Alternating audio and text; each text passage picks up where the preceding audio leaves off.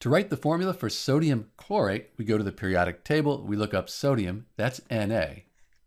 And then chlorate, you won't find that on the periodic table when we see this ATE here. We note we need to look it up on a table of common polyatomic ions.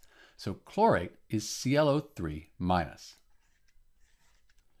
Since we have a metal and a group of nonmetals, this is an ionic compound, and we need to take into account the charges on the element here and then the polyatomic ion.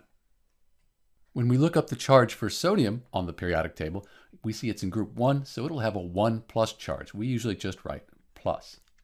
So these charges, they need to add up to 0 for this to be a neutral compound. And sodium chlorate, that's a neutral compound. The plus and the minus, they cancel out, give us a net charge of 0. So this is the formula for sodium chlorate. Let's remove the charges to clean it up. And there you have it, the formula for sodium chlorate, NaClO3. This is Dr. B, and thanks for watching.